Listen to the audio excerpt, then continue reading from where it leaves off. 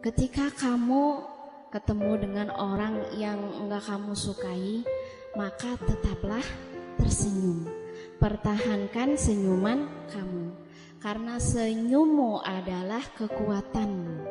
Karena senyummu adalah keteguhanmu memegang keimanan. Jangan engkau pudar senyuman cuman gara-gara ketemu dengan orang-orang yang tidak engkau sukai. Jadi ketika kamu ketemu sama orang yang engkau cintai, maka itu ungkapan cinta. Ketika engkau ketemu dengan orang yang engkau jengkel kepadanya, maka itu ungkapan kekuatan. Nah, ketika engkau ketemu dengan siapa pun dan engkau tersenyum, maka sungguh engkau sedang beribadah. Dan tersenyum itu sungguh seperti cahaya bintang.